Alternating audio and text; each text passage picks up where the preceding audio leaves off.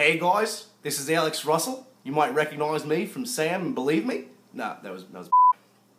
Hi, my name is Max Adler, and I played Baker in the film Believe Me. And I just want to thank you guys so much for your love and support of our big DVD Blu-ray release last week.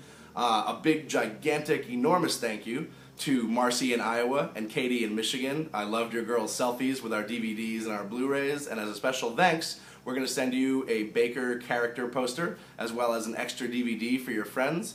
And I just want to thank you guys so much for doing that. And anyone out there who hasn't taken a selfie yet with your DVD or Blu-ray, do it and please hashtag Believe Me Film. You can pick up a copy at Walmart or Target or Amazon. And thank you so much. We all love you and have a great day. Thank you.